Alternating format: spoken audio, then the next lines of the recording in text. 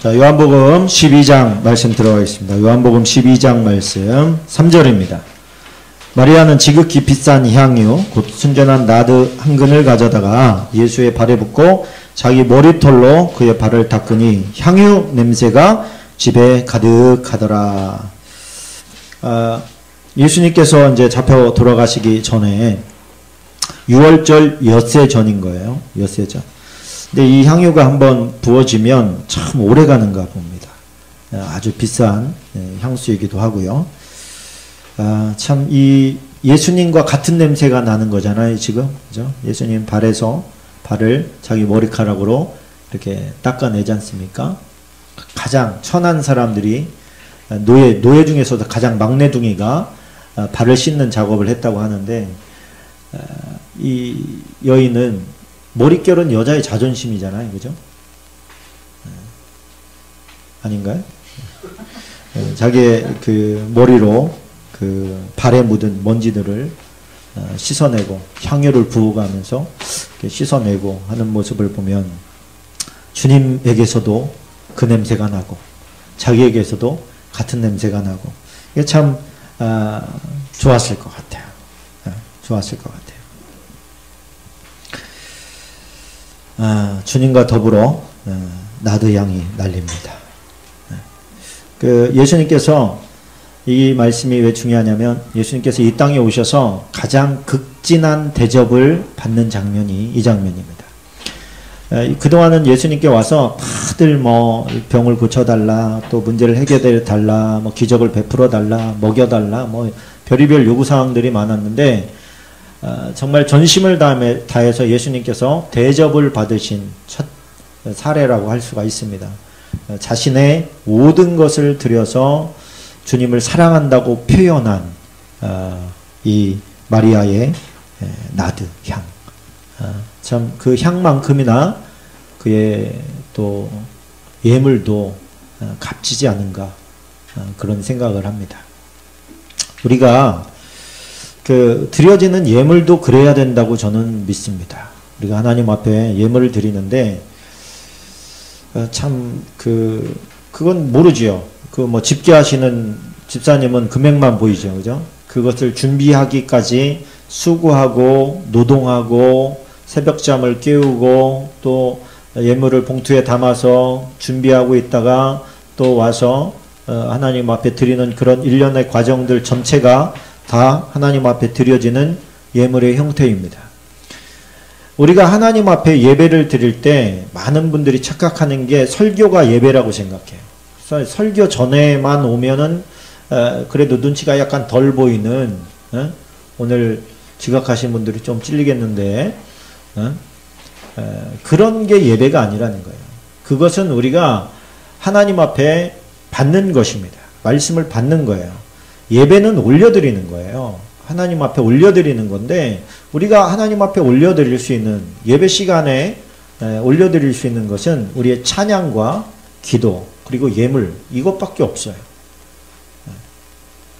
근데 그 말씀 받는 것만 그것이 예배라고 착각을 하고 있단 말이죠. 그것은 하나님의 말씀을 그야말로 받는 것이고 우리가 하나님 앞에 드려지는 것은 찬양이고 기도고 예물입니다. 이것이 우리는 어, 그것에 뭐가 담겨야 돼요? 신령과 진정이 담겨야 돼요. 그 신령과 진정으로 담겨야 되는 것이 찬양과 기도와 예물이에요. 이 마리아의 향유는 그런 각도에서 그것이 다 담겨 있다고 볼 수 있습니다. 거기엔 마음이 담겼지요. 자기 생명도 어쩌면 담겼을지 모르겠어요. 그게 거의 전 재산이라고 봐야 되니까. 그런 예물을 주님께서 받으시고 그것을 가지고 유다가 딴지를 걸잖아요. 그죠?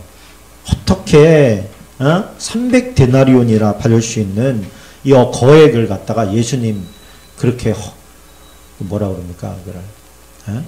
허비합니까? 아, 그거 차라리 맨날 구제하고 사랑하고 베풀어라 뭐 돌보라 이렇게 하셨던 주님께서 그거 어떻게 그렇게 발에다가 붙는 것을 지켜보고 계십니까?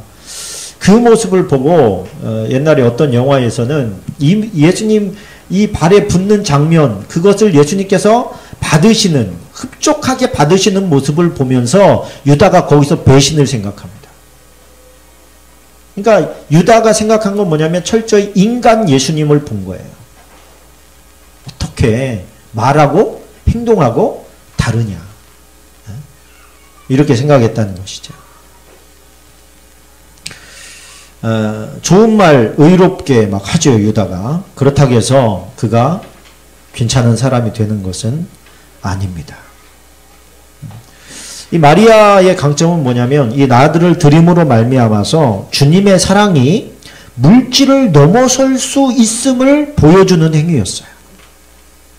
그 우리는 우리가 그 진 웨슬레가 그런 말을 했습니다. 지갑 이 열려야 진시 진정한 회심이다. 그런 얘기를 했어요. 왜 그러냐면 우리는 대부분 예수님을 주님이라고 하지만 사실은 돈을 주인으로 섬기고 있는 경우가 많다는 거예요. 그래서 이 물질 앞에서 벌벌 떠는 존재는 아직도 하나님 앞에서 거듭난 존재가 아니라는 것입니다. 그러니까 그보다는 못한 거죠. 우리의 입술로 고백하고 어떤 뭐 사람마다 뭐 11조 하고 또 감사하고 이런 거 있을 수 있지만 그 어떤 초월한 마음, 초월한 마음이 필요한 거예요, 우리에게. 아, 11조 했잖아요. 이, 이 정도가 아니고 어떤 초월된 마음이 필요합니다. 이게 무슨 마리아의 옥합이 11조 뭐 이런 개념이 아니잖아요. 그죠? 이건 그냥 삶을 다 드린 거예요. 자기가 이제까지 준비해오고 예비하였던. 그러니까 주님 나라, 주님, 예수님께서 너희가 복음이 전파되는 곳에는 어, 이 마리아의 행적도 또 다 기록해야 되는 거 아닙니까? 이 마리아를 마리아가 어떤 다른 본문에는 머리에다가 예수님의 머리에다 부었다 이렇게 나온 것도 있고 발에다 부었다 이렇게 나온 것도 있습니다. 같은 말이 아니야 아닌 말 다른 말이 아니야 좀 얘기가 좀 있지만 뭐 그거 다 떠나서 일단 우리가 예수님께서 받으시고 싶은 사랑은 그런 사랑이다. 그리고 이 여인만을 높이겠다는 게 아니고 이 여인의 삶을 복음이 들어가는 곳마다 본받았으면 좋겠다. 이게 이제 주님의 요청 아니겠습니까? 우리가 지금 어떻게 주님을 사랑합니까? 우리 목사님 지금 헌금하라는 얘기인가? 헌금하라는 얘기예요. 예? 그렇게 들어도 괜찮아. 어, 그러나 조금 더 나아가서 조금 예수님을 초월적으로 사랑했으면 좋겠다. 어떤 조건부가 아니라 그런 거 주님 어, 어떤 조건부가 아니고 뭐 예를 들어서 하나님 많이 드릴 수 있도록 주시면 드릴게요. 이런 그런 접근 방식이 아니라 어, 하나님 정말 어떻게 해야 아버지를 기쁘게 할까요? 예를 들어서 난 돈이 없는데 주님 그러면 어떻게 하면 저는 초월적인 사랑을 주님 앞에 표현할 수 있습니까? 이런 어, 질문이 우리에게 좀 필요하다고 봅니다. 12장 23절로 26절까지 보십시다. 예수께서 대답하여 이르시되 인자가 영광을 얻을 때가 왔도다. 내가 진실로 진실로 너에게 이르노니 한 알의 밀이 땅에 떨어져 죽지 아니하면 한 알 그대로 있고 죽으면 많은 열매를 맺느니라. 자기의 생명을 사랑하는 자는 잃어버릴 것이요 이 세상에서 자기의 생명을 미워하는 미워하는 자는 영생하도록 보전하리라. 사람이 나를 섬기려면 나를 따르라. 나 있는 곳에 나를 섬기는 자도 거기 있으리니 사람이 나를 섬기면 내 아버지께서 그를 귀히 여기시리라. 예수께서 지금 무슨 말씀하시냐면 나 이제 죽을 죽을 거다. 나 이제 십자가를 질 거다. 그런 말씀을 하시는데 뭐라고 하냐면 인자가 영광을 얻을 때가 왔다. 이렇게 말씀을 하시는 거예요. 그러니까 예수님이 십자가에서 죽는 것이 나의 영광이다. 그런 거예요. 내가 너희를 위해서 죽을 텐데 너희를 위해서 죽는 그것이 내 영광이다. 이렇게 얘기하시는 거예요. 그렇죠? 우리가 예수님의 영광을 생각하면 뭐가 생각납니까? 부활이 생각납니까? 예수님이 어느 부분에서 우리가 고꾸라져요? 십자가예요, 십자가. 십자가 보면 그냥, 예, 주님. 예. 황 집사님 말씀하셨는데. 난 너를 위해서 십자가를 졌다. 뭐더 이상 말이 필요가 없어요. 그냥 십자가 그러면 고개가 푹 숙여지는 거예요. 그게 뭡니까? 그게 그게 복음이에요. 그래서 그게 주님의 영광입니다. 그 어, 십자가는 뭐냐면 주님이 우리를 얼마나 사랑했는지를 보여주는 증거예요. 증거예요. 아, 그거 놀라운 거 아니겠습니까? 네. 누구를 사랑하다가 생기는 흔적이 있으면 그거 볼 때마다 막 그때 생각이 날 겁니다. 그죠? 네. 그게 영광인 것이죠.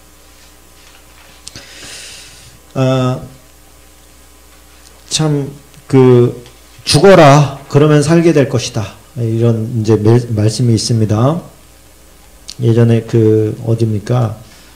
어, 여기 지샘 병원에 그 이제 지샘 아카데미라는 게 있어요. 거기서 봉사하려면 그 과정을 다 통과를 해야 됩니다. 그, 그거를 한, 한 달인 반인가 이렇게 이제 교육을 받는데 그때 원장님이 그런 특강을 하셨어요. 면역 치유 하시는 분이신데 우리 몸에서 건강한 세포를 빼서 그것을 배양해요. 그리고 암세포 있는 데다가 주사기로 주입을 합니다. 그럼 그 건강한 세포가 암세포 있는 곳으로 들어가서 그 암세포를 죽이는 어, 그런 치료, 독특한 치료 방법을 이제 쓰는 그런 건데 세포가 어, 한 공간에서 너무 많으면 너무 많이 배양이 되면 이 세포가 뭐라고 하냐면 야 여기 원 밖에 있는 애들 니네들 죽어라 이렇게 명령을 한다는 거예요. 단백질로 소통을 하는데 근데 그러면 얘네들은 기꺼이 죽는다는 거예요. 그 죽는데 그냥 자살을 하는 거예요 한마디로. 그런데 어, 분명히 신호는 죽어라 그러고 갔는데 죽기 싫은 거예요 얘가. 내가 왜 죽어야 돼? 그리고 안 죽고 버티면 걔가 암세포가 된다는 거예요. 아, 그래서 죽으면 전체가 사는 거예요. 그죠? 내가 죽으면 전체가 살아. 근데 내가 안 죽으면 다 죽이는 거야. 이, 신체 원리와 어, 하나님의 말씀의 메시지가 똑같더라고요. 가정에서도 그런 것 같고 직장에서도 그런 것 같아요. 근데 이 세상은 누가 하나 죽으려고 안 하잖아요. 어? 내가 왜 죽어야 돼? 내가 왜 손해를 봐야 돼? 내가 왜 피해를 당해야 돼? 그래서 그 작은 것도 하나 아, 손해 보지 않고 피해 보지 않으려고 하다 보니까 어떤 일이 벌어져요? 다 죽어. 음, 뭐 가정이 초토화되고 어, 교회가 초토화되고 직장이 초토화되고 이런 일이 왜 그렇습니까? 저, 절대 죽지 않으려고 해서 그래요.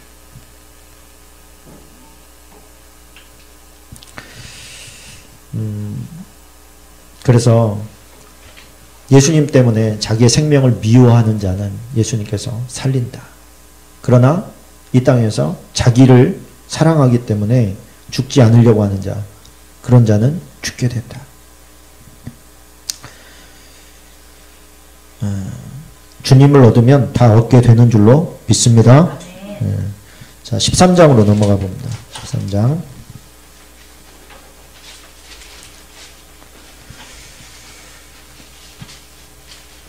12절로 17절까지 보면 어, 제자들의 발을 씻기시는 주님이 나옵니다. 그들의 발을 씻으신 후에 옷을 입으시고 다시 앉아 그들에게 이르시되 내가 너희에게 행한 것을 너희가 아느냐 너희가 나를 선생이라 또는 주라 하니 너희 말이 옳도다. 내가 그러하다. 내가 주와 또는 선생이 되어 너희 발을 씻었으니 너희도 서로 발을 씻어주는 것이 옳으니라. 내가 너희에게 행한 것 같이 너도 행하게 하려 하여 본을 보였느라. 내가 진실로 진실로 너희에게 이르노니 종이 주인보다 크지 못하고 보냄을 받은 자가 보낸 자보다 크지 못하니 너희가 이것을 알고 행하면 복이 있으리라. 예수님께서 제자들의 발을 씻기시는데 제자들이 참 이거 너무 민망한 거죠. 발은 누가 씻긴다고요? 네? 노예 중에 막내. 예, 노예 중에 제일 꼬레비가 노예 중에서도 제일 꼬레비가 하는 일이 손님이 왔을 때 발을 씻어주는 거예요. 근데 지금 예수님께서 보니까 작정을 하시고 옷, 을 벗어서 질끈 동여 매시고 옷을 팔을 걷어 붙이고 지금 수건 하나 들고 제자들의 발을 씻겠다고 하는 거예요, 지금. 이게 제자들이 몸둘 바를 모르겠는 거죠. 도대체 예수님 왜 이러시는가? 근데 제자, 제자 중에 베드로가 예수님 저는 예수님 발 씻게 못합니다. 그랬더니 예수님께 뭐라 그래요? 네가 이거 하지 않으면 너랑 나랑 상관이 없다. 그랬더니 오히려 머리부터 발끝까지 씻어주세요. 그러면 이렇게 하네. 그랬더니 온몸이 목욕한 자는 발만 씻으면 된다. 그러시면서 발을 씻겨 주십니다. 그러면서 하시고 나서 이렇게 질문하세요. 너희가 내가 이렇게 한 이유를 아니? 이렇게 이제 물어보시는 거죠. 어리벙벙하게 있는데 예수님께서 어, 대답을 해주십니다. 너네가 나를 주님이라고 부르지 또는 선생님이라고 부른다. 그 맞다. 내가 너희의 주님이고 내가 너희의 선생이다. 선생이 선생이 너희의 발을 씻겼으니 선생이 했으니 너희가 하는 것은 얼마나 더 해야 되겠냐 이런 말씀이에요. 그러므로 니네가 낮아져서 섬기면 너, 그 모습을 보고 니 너희, 너희가 내 제자인 줄 알 거다. 아, 저 선생님이 저러니까 제자도 저러는구나. 그 예수님께서 지금 이 말씀을 왜 하시는 거예요? 승리하기 위해서 너희가 해야 될 일, 이런 거예요. 승리하기 위해서. 너희가 어, 세워지기 위해서 해야 될 일, 그런 거예요. 그러니까 우리가 이기고 싶으면 힘이 세져서 이거 해, 저거 해, 이렇게 하는 게 그 사람이 승리가 아니라 낮아져서 필요를 채워주고 어, 발을 씻, 씻어주는 그런 사람이 되면 뭐 어떤 사람이 되는 거다? 승리자가 되는 거다. 그래서 우리가 주인 노릇 하려고 하면 안 됩니다. 가정이 깨집니다. 그러면 또 교회가 깨집니다. 아 근데 이게 참 힘든 일이에요. 그죠? 주님의 제자만 할 수 있는 일입니다. 자 34절 35절에 보십시다. 같이 읽겠습니다. 시작 새 계명을 너희에게 주노니 서로 사랑하라. 내가 너희를 사랑한 것 같이 너희도 서로 사랑하라. 너희가 서로 사랑하면 이로써 모든 사람이 너희가 내 제자인 줄 알리라. 어, 그 죽어서 천국에 다녀온 밥 존스라고 하는 사람이 그 천국 앞에 영광된 문 앞에 딱 섰는데 거기 지키고 있는 그 경비병이 들어오는 모든 사람에게 딱 한 가지 질문을 하더라는 거야. 사랑하는 법을 배웠느냐? 사랑하는 법을 배웠느냐? 이 한마디 묻더라는 거야. 우리가 이 세상에 살면서 어쩌면 가장 중요한 한 가지는 사랑하는 법을 배우는 게 아닐까 그런 생각을 합니다. 예수님께서 우리에게 어, 그 엄청난 양의 율법이 있어요. 그죠? 계명이 있어요. 근데 지금 그 모든 계명을 예수님께서 지금 단 하나의 계명과 바꾸신 거예요. 자, 그러니까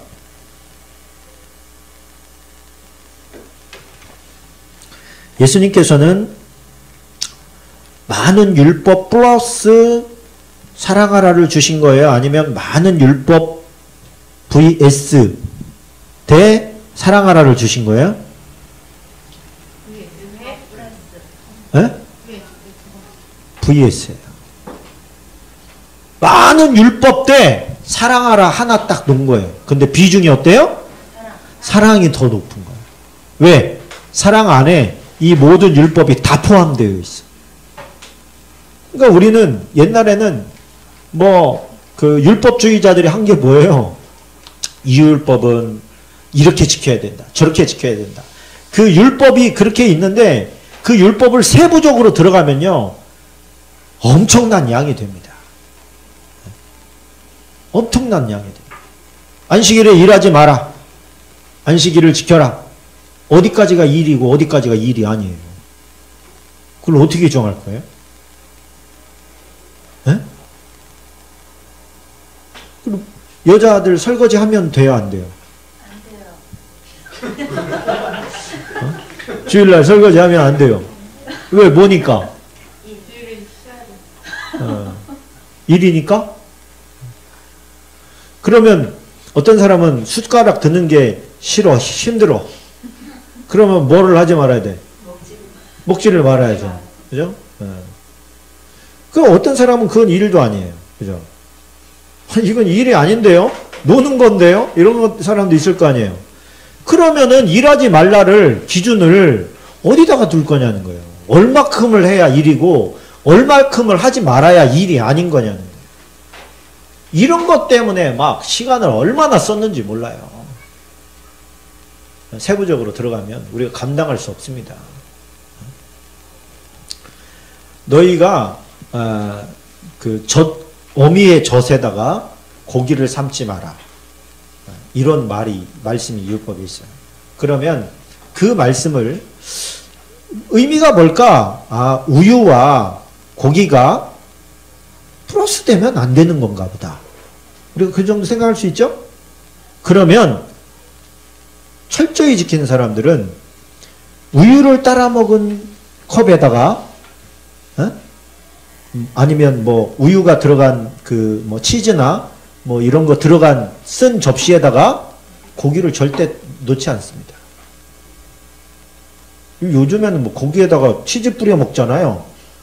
걔네들이 보면 음, 말도 안 되는 거죠. 어? 무슨 다니엘 그 선 교사님이 그 예, 이스라엘에 갔다가 뭐 안식일인데 뭐 먹을 만한 데가 없더라는 거예요. 그래서 근데 햄버거 가게가 문을 열었더래. 그래서 들어가서 햄버거를 사 먹는데 랍비가 돌을 들어서 막 던지더래. 어? 돼지고기 들어간 고기를 먹는다고. 지금 안식일 날. 그러니까 이, 이, 이 범주가 범주가 우리가 상상을 못하고 우리가 함께 알 수도 없고 행할 수도 없어요. 얼마나 그게 막 심오하고 광범위한지. 근데 우리는 예수 그리스도 안에 있는 사람은 한 가지만 지키면 돼. 왜? 그게 사랑이냐? 사랑이냐? 미움에서 발언된 것은 사랑이 아닌 것에서 발언된 것은 아무것도 해서는 안 된다. 그러나 사랑으로 말미암아 되는 것은 다 가능하다. 안식일 날 예수님께서 병자를 고쳤더니 사람들이 뭐라고 합니다. 아니 엿새 동안 있는데 엿새 동안 일하고 안식일에는 일하지 말라고 율법학자들이 막 그렇게 손가락질했습니다. 그랬더니 아버지께서 일하시니 나도 일한다. 그러면서 세워놓고 얘기합니다. 너희가 안식일 날 소가 구덩이에 빠졌으면 안식일이라서 내버려 두냐? 안식일이라도 그 생명을 위해서 건지지 않느냐? 근데 사람 얼마나 귀하냐? 그 안식일 날 그 40년 동안 병 가운데 있던 사람을 고쳐거려서 너네가 그렇게 불편한 일이냐? 그게 율법은 지키려고 하되 율법의 본질인 사랑은 잃어버린 거예요. 우리가 그렇게 돼서는 안 됩니다. 그죠?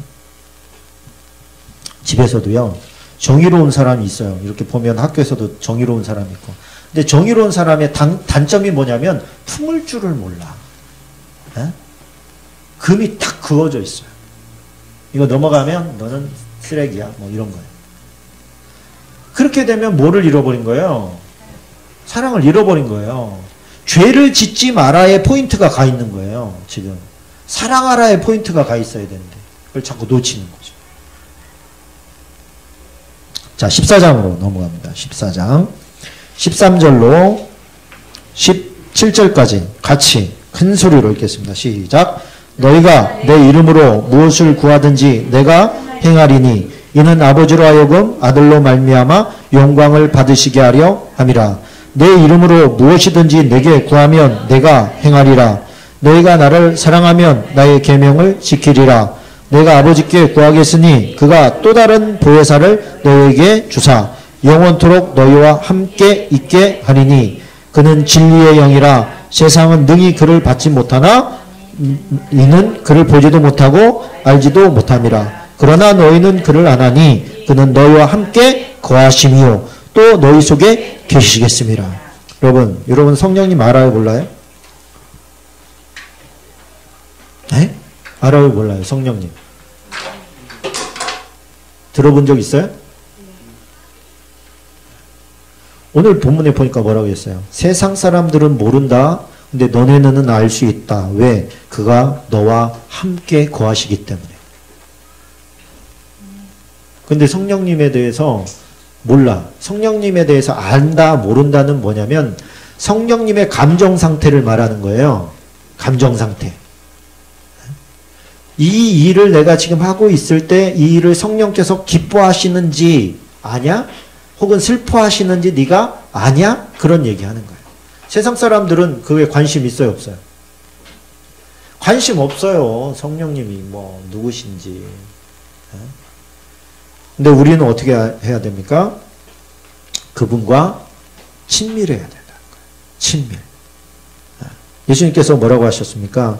내 이름으로 모든 것을 줄 거다. 그리고 그렇게 되어지도록 도우시는 분이 성령님인데 그 중간에 애매하게 하나 낑긴 게 있어요. 시골 말로 낑긴다 그러는데 뭐냐면 너희가 나를 사랑하면 내 계명을 지키리라 이게 가운데 끼어 있어요. 다시 말하면 예수님의 계명이 뭐였어요? 예? 한 분밖에 모르시나? 예수님의 새 계명이 뭐였어요? 계명이었어요. 그러니까 예수님의 계명을 지키는 게 그 가운데 끼어 있어요. 주님께서 모든 것을 다 주시는데 또 성령께서 함께 하시는데 그 가운데 핵심이 아 이게 뭐예요 이게 어? 계명을 지키느냐 안 지키느냐예요. 또 그것을 위해서만 주시겠다 뭐 이런 의미도 있는 거예요. 어떤 사랑의 행위에서 나오는 기도 제목들 사랑의 마음에서 우러나는 기도 제목들 이런 거에 성령께서 역사하시고 예수님께서도 다 주신다. 어? 무엇이든지 구하면 내가 행하리라 그랬으니까 주님 오늘 로또 삽니다. 아시지요? 예수 이름으로 당첨될지어다. 네? 아멘 하고 싶죠 지금? 이거 돼요 안 돼요? 이거 해보신 분? 이거 안 돼요. 왜 안 돼요? 기준에서 벗어나서. 어? 뭐에서? 사랑이라고 하는 기준. 그거는 사랑이 아니라 이기예요. 이기. 욕심. 욕심에 근거한 기도는 하나님께서 들어주실 수가 없어요. 그거는 그를 망치는 일이에요. 로또 그러니까 우리 또 도원이 생각이 나. 아이고 그게 안 된 게 감사하다 그죠? 아멘을 하는. 어, 자 27절도 보십시다. 음, 26, 27절 같이 보십시다. 시작. 보혜사 곧 아버지께서 내 이름으로 보내실 성령 그가 너에게 모든 것을 가르치고 내가 너에게 말한 모든 것을 생각나게 하리라 평안을 너에게 끼치노니 곧 나의 평안을 너에게 주노라 내가 너에게 주는 것은 세상이 주는 것과 같지 아니하리라 너희는 마음에 근심하지도 말고 두려워하지도 말라 돈 많은 사람들은요 두려움이 있더라고요 신기하더라고요 돈 많으신 분들은 제가 어, 예전에 한번 본 적이 있는데 잠을 못 자. 잠을 못 자요. 약에 의존해서 자요. 약에 의존해서. 예전에 보니까 인기 많은 사람들이 이렇게 자살할 때 보니까 그 수면제 먹은 사람들이 많더라고요. 왜 그런가 했더니요. 불안에 시달리는 거예요. 이 돈이 갑자기 다 날아가면 어떻게 되지? 이거 사업이 망하면 어떠지? 그 불안함에 잠을 못 자요. 세상이 주는 부유함은 있는데 평안이 없어. 근데 잠언서에 보니까 하나님께서 주시는 축복은 재물은 근심을 겸하여 주지 아니한대. 그게 하나님이 주신 복이에요. 왜 그런 왜 근심이 없느냐? 그러면 하나님 건데 뭐 청지기 마음을 가지고 있는 거야. 내돈 이거 누가 가져가면 안 되는데. 이렇게 하면 잠을 못 자죠, 진짜. 근데 뭐 이거 가져가시는 분도 하나님이시고 주는 분도 하나님 거고 내 거 아니고 하나님께서 잠깐 나한테 맡겨놓은 거다. 이렇게 생각하면 걱정할 게 없잖아요. 그죠? 자꾸 거기에 내 욕심이 들어가고 내 거 같으니까 근심 걱정이 생기는 것이죠. 주님이 주신 평안의 특징이 있어요. 죄책감으로부터 평안하고요. 죽음의 공포로부터 평안하고요. 하나님과 연동됨에서 오는 평안이 있습니다. 믿음으로 주님의 유언적 선물인 또 평안을 우리가 누릴 수 있게 되는 줄로 믿습니다. 13, 15장으로 어, 넘어갑니다. 15장 9절로 12절입니다. 같이 읽겠습니다. 시작. 아버지께서 나를 사랑하신 것 같이 나도 너희를 사랑하였으니 나의 사랑 안에 거하라. 내가 아버지의 계명을 지켜 그의 사랑 안에 거하는 것 같이 너희도 내 계명을 지키면 내 사랑 안에 거하리라. 내가 이것을 너에게 이름은 내 기쁨이 너희 안에 있어 너희 기쁨을 충만하게 하려 함이라. 내 계명은 곧 내가 너희를 사랑한 것 같이 너희도 서로 사랑하라 하는 이것이니라. 아, 사랑의 계명에는 충만한 기쁨이 있다. 그런 겁니다. 우리가 미워하면 어떤 생각이 들어요? 괴로워요. 일단 평안이 깨져버려요. 누군가를 미워하는 생각이 딱 들어오면 내 평안이 깨져. 그 사람은 지금 아무 생각 없는데 내가 괴로워. 내 평안이 깨져버려요. 근데 내가 사랑할 마음이 있으면 그 사람이 나를 미워해도 내 마음에는 기쁨이 있어요.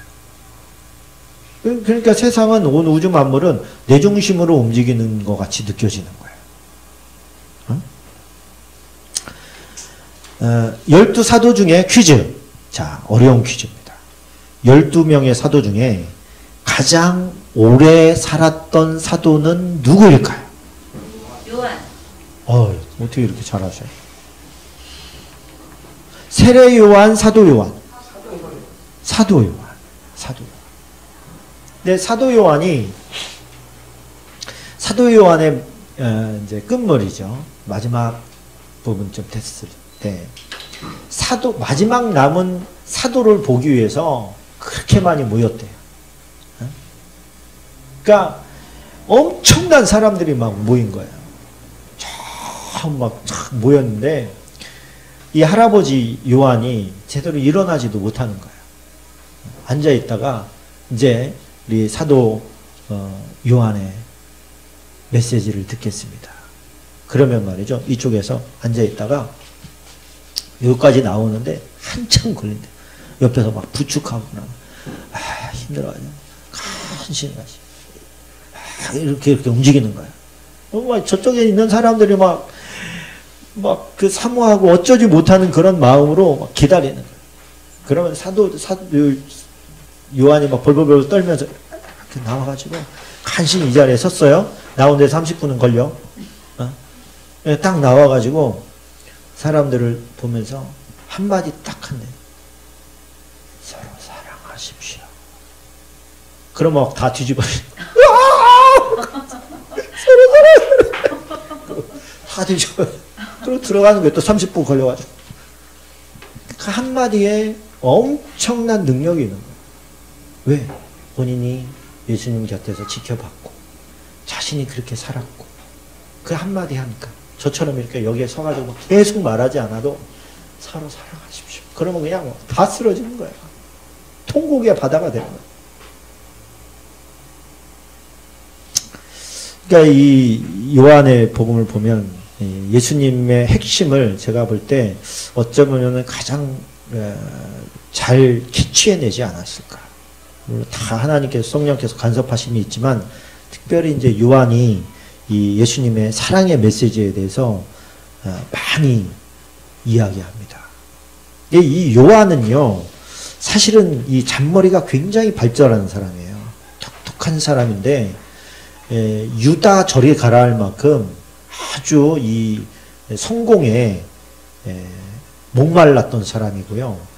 또 그 성공함에 있어서 그 발판을 잘 마련했던 사람이에요. 성경을 보면 그런 흔적들이 많이 나옵니다. 어? 예수님 대, 대 제사장의 집에 예수님 끌려가잖아요. 어? 끌려갔는데 그 집에 베드로가 들어가지 않습니까? 베드로가 어떻게 들어가요?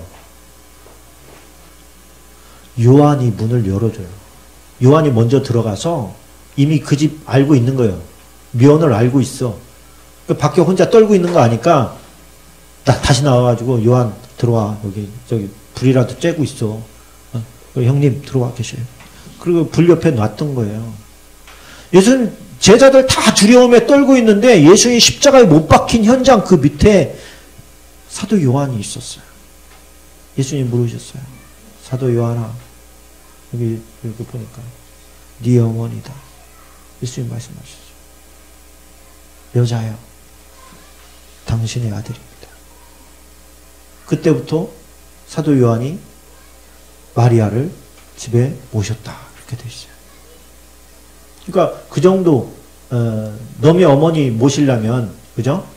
주님의 어머니 예, 마리아를 모시려면 웬만큼 살았다는 집 얘기예요. 그리고 청탁하잖아요. 예수님한테 와가지고 그죠? 누구를? 예, 엄마 모시고 와가지고 야고보와 요한을 당신의 나라가 시작될 때 한 사람은 오른쪽에 한 사람은 왼쪽에 있게 해주십시오. 아, 근데요, 에, 친척 관계입니다. 아, 아, 알고 계시죠? 친척 관계예요. 야고보, 요한, 예수님은 음, 마리아하고 야, 그 누굽니까? 그. 자매 관계. 육신적으로. 그런데 끝까지 예수님을 예수님으로 발견했기 때문에 하나님의 아들로 발견했기 때문에 사도로 끝까지 남을 수 있었던 거예요. 어, 자기가 마련했던 그 어, 권세로 나아가는 그런 모든 권리와 자격을 내려놓은 것이죠. 어. 아, 정말 위대한 인생 아닙니까? 그, 그러니까, 그, 뭐, 높은 자리에 올라갔으면 뭐 할 거예요? 사도가 아니었으면. 그죠? 사도의 자리, 주님께 충성하는 그런 인생의 어떤 그런 자리를 만약에 포기하고 세상적인 부귀 영화를 쫓아서 갔더라면 지금 뭐 요한을 생각하는 사람이 누가 있겠어요? 어? 그런 사람이 한둘이었겠습니까? 지금도 하나님 잘 섬기다가 시험 받고 또 유혹당하고 그래가지고 세상으로 나가서 나는 세상이 좋아요. 세상이 주는 즐거움이 좋아요. 그리고 세상으로 나가서 그냥 즐기고 살다가 죽었던들 누가 천국에서 그의 이름을 기억하겠느냐 말이죠.